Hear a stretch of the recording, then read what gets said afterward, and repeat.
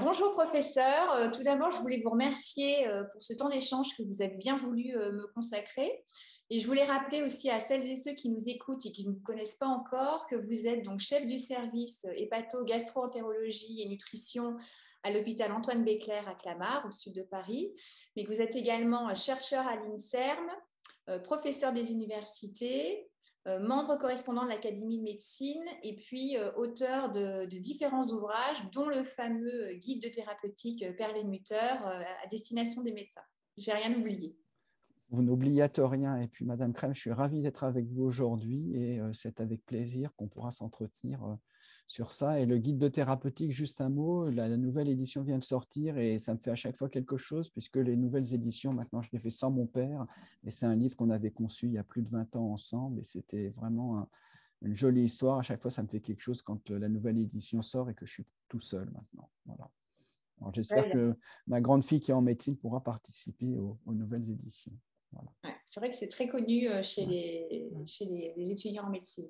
Alors moi aujourd'hui, euh, si, vous le, si vous le voulez bien, je voulais revenir sur votre dernier livre que vous avez intitulé Stress, hypersensibilité et dépression, et si la solution euh, venait de nos bactéries. Alors, je voudrais justement que vous nous fassiez un petit éclairage sur ce que l'on sait aujourd'hui sur nos bactéries, et puis que vous nous parliez aussi de cet axe intestin-cerveau que vous évoquez dans votre dernier livre. Oui, alors effectivement, ce livre m'est venu d'une part au vu des différentes données scientifiques et au vu de ce que j'observe chez les patients que je suis. Donc, en ce qui concerne la science, l'interaction entre le cerveau et le tube digestif est très importante. Et longtemps, on a mis ces interactions simplement sur des problèmes psychologiques. Quelqu'un qui avait mal au ventre était quelqu'un de psy, encore quelqu'un qui a une colite inflammatoire. J'ai vécu ça quand j'étais interne. Elle est, spéciale ou il est spécial. Il a un Crohn, il a une rectocolite. Mais en fait, la, vérité, elle est plus compliquée que ça. Euh, les bactéries qu'on a dans le tube digestif, même ailleurs d'ailleurs, euh, interagissent avec tout l'organisme. Donc tout l'organisme, c'est évidemment l'immunité, le foie, la digestion, mais comme c'est avec tout l'organisme, ça interagit aussi avec le cerveau. Et les mécanismes des interactions sont multiples. Ça peut être, par exemple, une augmentation de la perméabilité de votre intestin qui va entraîner une inflammation. Ça peut aussi être une modification des métabolites que vont fabriquer vos bactéries, c'est-à-dire des petits corps qu'ils fabriquent, qui vont passer dans le sang sans qu'il y ait forcément une augmentation de l'inflammation. Tout ça, ça va avoir un retentissement sur l'ensemble de l'organisme, y compris sur le cerveau. Et euh, c'est un des mécanismes par lequel votre tube digestif va interagir avec votre cerveau. Et on sait maintenant que euh, euh, certaines bactéries vont aller modifier certains neurotransmetteurs, que ce soit du GABA, que ce soit de la sérotonine, que ces neurotransmetteurs peuvent être au niveau du tube digestif, peuvent être au niveau du cerveau, il y a des études qui débutent euh, suggérant que certains probiotiques peuvent agir sur le comportement. Et euh, du coup, c'est quelque part un peu évident que, euh, même si on ne connaît pas tous les mécanismes, que les bactéries vont interagir avec nos humeurs, sans qu'on en connaisse les mécanismes intimes. Mais inversement, vos humeurs votre état psychologique, il ne faut pas non plus le dissocier du tube digestif, va également interagir sur votre tube digestif, ce qui fait que cette interaction, elle est euh, bilatérale.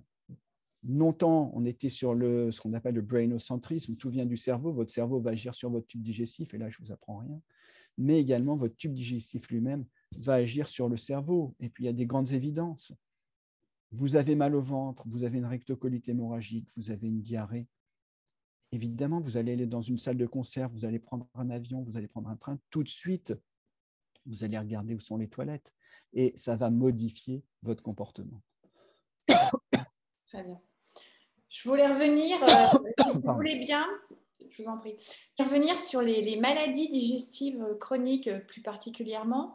On évoque 225 euh, 000 euh, personnes atteintes en France hein, de, de MICI, les maladies inflammatoires chroniques de l'intestin, avec une augmentation euh, de 10% chaque année de la maladie de Crohn et qui touche une population de plus en plus jeune.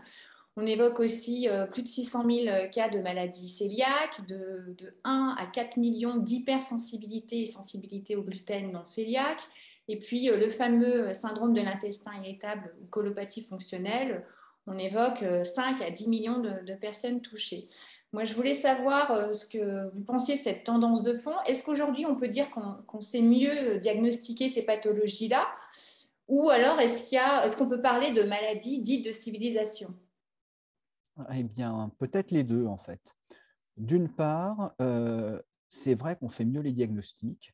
Euh, autant, je pense que sur les, rectocolite hémorragique, maladie de Crohn, les MITI, les diagnostics, on les faisait déjà quand j'étais étudiant très bien, mais là, on fait plus de diagnostics, en fait. Euh, les informations que nous avons quant aux intolérances au gluten, par exemple cœliaque, euh, sont mieux connues, sont mieux connues dans la population générale, sont mieux connues par les médecins généralistes, sont mieux connues par le monde médical en général, et donc on les dépiste plus facilement, et donc on les connaît mieux. Et euh, on fait également beaucoup plus attention à la sensibilité digestive et c'est pas euh, euh, c'est comme ça qu'on augmente euh, le nombre, la prévalence de, par exemple, du syndrome de l'intestin irritable, S2I, ou alors, ça va peut-être ensemble, l'intolérance au gluten non cœliaque, où on y fait plus attention. Donc, je ne sais pas s'il y a vraiment plus de maladies, mais en tout cas, je, je suis plus de maladies de, je dirais, d'intolérance au gluten euh, non cœliaque, ou si on y fait plus attention. En revanche, je pense qu'il y a plus de maladies, euh, enfin, c'est pas je pense, c'est la réalité, de maladies inflammatoires, comme les colites inflammatoires, de maladies immunitaires probablement comme l'intolérance au gluten type cœliaque, Peut-être pour des, pour des raisons d'environnement. L'environnement, c'est au sens large. Est-ce que c'est l'alimentation? Est-ce que c'est le microbiote? Est-ce que c'est les deux à la fois? Mais en tout cas, on sait qu'il euh, y a une augmentation de l'incidence des maladies euh, auto-immunes euh, actuellement dans le monde occidental. Très bien. Je voulais aussi revenir sur des études scientifiques en fait, qui ont été publiées en 2020 dans The Lancet et Nutrition sur, euh, ça mettait en, lumière en fait les bénéfices d'une prise en charge euh, pluridisciplinaire et plus particulièrement euh, un accompagnement diététique et psychologique pour la maladie de Crohn par exemple ou le, S2I. Je voulais savoir bah, ce que vous pouviez, quels étaient les enseignements qu'on pouvait tirer de, de, ces études scientifiques et leur application dans la prise en charge de ces maladies. Alors, je vais vous répondre de deux façons. D'une part, c'est très bien qu'une étude scientifique puisse prouver que euh, vous n'êtes pas qu'un tube digestif et que c'est mieux d'avoir une prise en charge globale d'un patient. Mais quelque part, en même temps, euh, c'est un peu enfoncer une porte ouverte. Euh, quand vous avez une personne qui est trop grosse, si vous lui dites d'arrêter de manger, ce n'est pas comme ça que vous allez l'aider à maigrir. Si vous avez une personne qui a une consommation excessive d'alcool, si je lui dis arrêtez l'alcool, au revoir monsieur, j'ai pas fait mon boulot. Et donc, on peut le décliner aussi pour les maladies du tube digestif. Si je vous dis, vous avez une maladie de Crohn, je vous donne un médicament, au revoir madame. Voilà, je ne vous prends pas en charge, je vous donne un traitement, ça me prend cinq minutes et c'est terminé. Et je dirais que c'est tout ce qu'il y a autour qui est aussi important. Quand vous avez une colite inflammatoire, il faut vous expliquer ce que c'est, il faut vous déculpabiliser, il faut vous expliquer ce qu'on connaît sur la maladie, il faut vous expliquer ce qu'on ne connaît pas, il faut vous expliquer qu'est-ce qui peut, par exemple, provoquer les poussées. Euh, quand on apprend qu'on a une maladie chronique, et eh bien qu'une maladie avec laquelle vous allez devoir vivre, ça va avoir un retentissement psychologique. Et euh, c'est tout ça, ça montre pourquoi une prise en charge globale, multidisciplinaire est importante. La prise en charge doit évidemment être fondée sur le gastro-entérologue qui va vous donner le médicament, le gastro-entérologue qui doit vous aussi vous prendre en charge de façon plus globale et s'il ne peut pas le faire, doit euh, vous aider. Une prise en charge nutritionnelle, est-ce que vous avez des carences? Est-ce qu'il y a des aliments que vous ne tolérez pas? Une prise en charge, euh, je ne sais pas, sophrologique ou psychologique, en tout cas pour vous aider à rentrer dans le processus d'avoir une maladie qui va vous suivre toute la vie, avec laquelle vous allez devoir vivre. Peut-être vous allez y arriver toute seule, peut-être faut vous faire aider, mais tout ça, c'est une prise en charge globale où il faut vous soutenir. Et quand je pense à ça, ça me fait penser à ce que me disait mon père, qui était aussi professeur. On me disait, tu verras, la médecine, c'est facile. Ce qui est compliqué, c'est les patients. Je voulais aussi vous évoquer, en fait, dans, votre livre, les profils ultra sensibles qui viennent vous consulter pour les troubles euh, digestifs chroniques. Et du coup, je voulais euh, bah, que vous nous parliez un petit peu de ces, profils. Euh, est-ce qu'on est, hypersensible, enfin le verbe naître, ou est-ce qu'on le devient, suite à un traumatisme émotionnel ou autre? Le professeur Bonaz aussi parle du, du concept des early life trauma. Je voulais savoir ce que vous en pensiez. Écoutez, je ne suis pas psychiatre. Ça, c'est fondé sur l'expérience que j'ai avec, avec mes patients. Euh, il est évident que, euh, euh, déjà quand on dit évident, ça veut dire que ce n'est pas évident, mais au vu de mon expérience, les patients que je vois qui viennent me, consulter pour des problèmes de douleur abdominale, de météorisme, de gaz, viennent me voir en deuxième, troisième, quatrième avis avec des dossiers épais comme ça où euh, les personnes sont désespérées de ne rien trouver. Et euh, quand on reprend l'histoire globale des personnes, on les interroge sur leurs antécédents personnels, sur les antécédents familiaux, sur l'histoire familiale, les relations avec les parents, avec les frères, avec les sœurs, eh bien on retrouve régulièrement des traumatismes plus ou moins importants, mais en tout cas qui sont toujours vécus par la personne comme un traumatisme. Et euh, qui retentissent évidemment sur l'état psychologique, mais aussi sur le tube digestif. Euh, alors, est-ce que ça augmente une hypersensibilité qu'on aurait de base? Est-ce que ça provoque cette hypersensibilité? Je ne le sais pas, et puis à la limite, ce n'est pas très important. Ce qui est important, c'est la façon dont est la personne quand elle vient euh, vous consulter.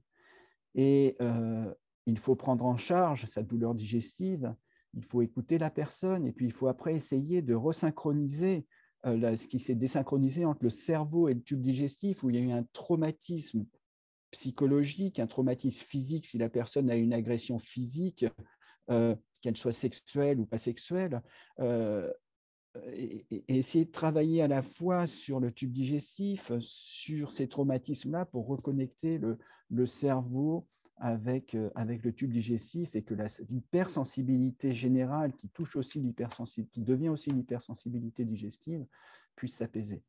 D'accord. Vous parliez, j'ai vu euh, des, interventions, on parle de, je reviens là sur les, probiotiques et les, euh, les psychoprobiotiques. Je voulais savoir un peu, je trouve ça, pardon, les, tant pour moi, les psychobiotiques. Je voulais savoir justement, vous nous parliez un petit peu de ça, c'est euh, étonnant et je voulais que vous nous en parliez. Oui, c'est étonnant, j'étais le premier étonné. En fait, euh, euh, ce sont des probiotiques qui vont agir sur votre humeur, sur votre comportement, sur votre niveau d'anxiété.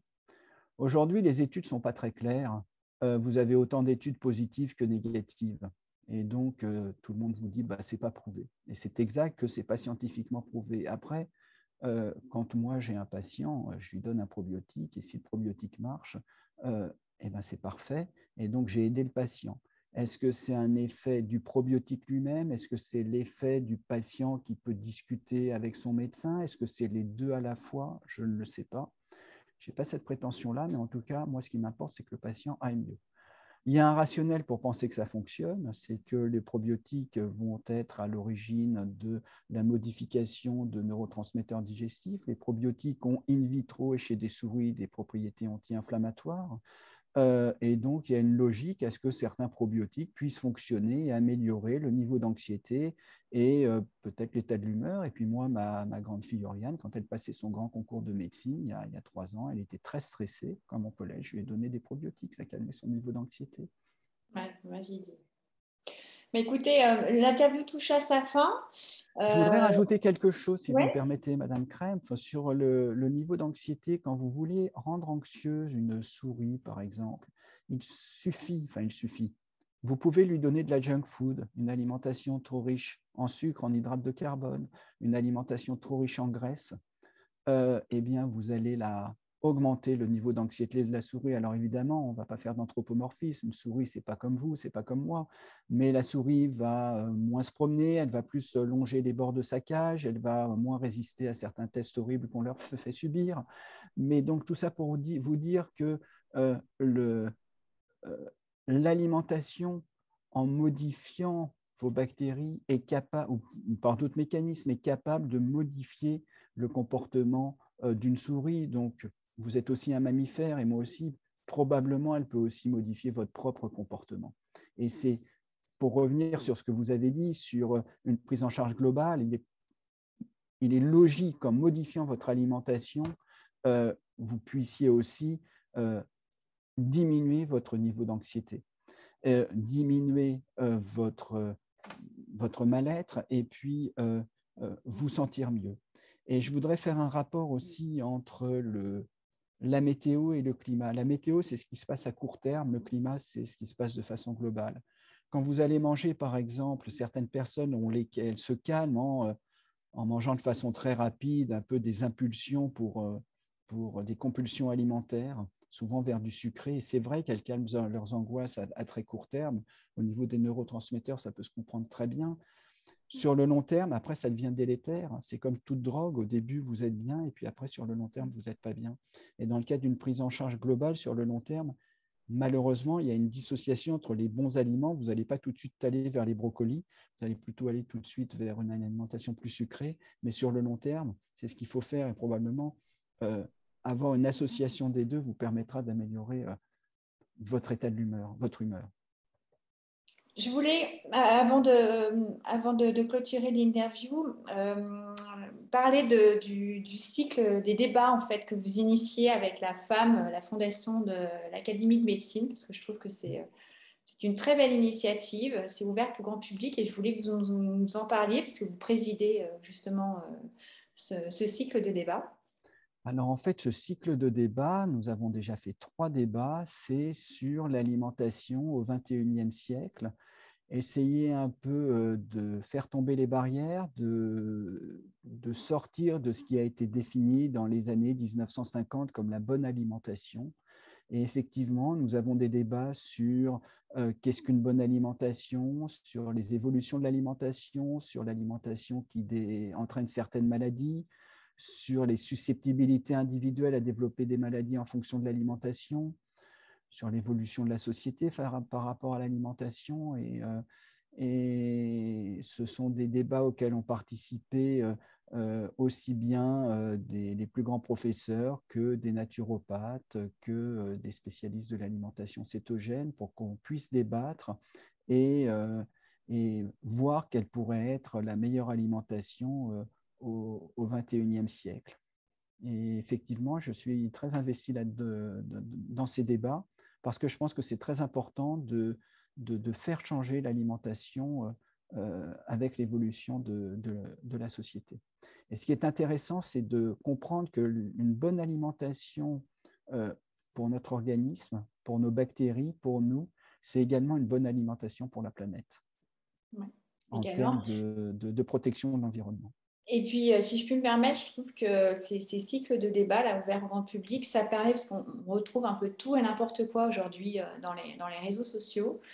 Et je trouve que voilà, ça vous permet de remettre les choses, les, choses à plat avec, avec des experts, des scientifiques reconnus, et, euh, c'est une très belle initiative. C'est très important, si je peux me permettre, Madame Krem, ce que vous dites, parce que sur, le, sur un réseau social, toutes les paroles sont mises au même niveau. Euh, tout le monde se prend pour un journaliste, tout le monde se prend pour l'expert, et puis la parole de l'expert euh, revient au même niveau, euh, voire justement comme c'est un expert dans le cadre de, de la méfiance vis-à-vis des, experts, et eh bien, se met en, est moins visualisé que des personnes qui créent un peu plus fort. Et autant je pense que c'est bien de pouvoir discuter, autant je pense que tout le monde n'est pas expert, que, mais que tout le monde a le droit de discuter et qu'il ne faut pas oublier que la médecine, la science doit être fondée sur les preuves et qu'à côté de ça, il faut aussi avoir les esprits ouverts pour faire avancer la médecine et la science. Alors justement, j'invite euh, ceux qui nous écoutent à, visionner euh, ces fameux débats. Je crois que c'est en ligne sur, euh, il y a un compte Fondation de l'Académie de médecine sur YouTube, il me semble, et puis LinkedIn aussi et les, réseaux sociaux. Voilà, et vous pouvez y accéder assez facilement, et puis vous tapez Fondation de l'Académie de médecine et vous allez trouver les débats. Et ben, je vous remercie pour ces précieuses informations. Et Merci je à vous. Une bonne journée. Merci. Très belle journée à vous. Prenez soin de vous. Au revoir, merci. Au revoir.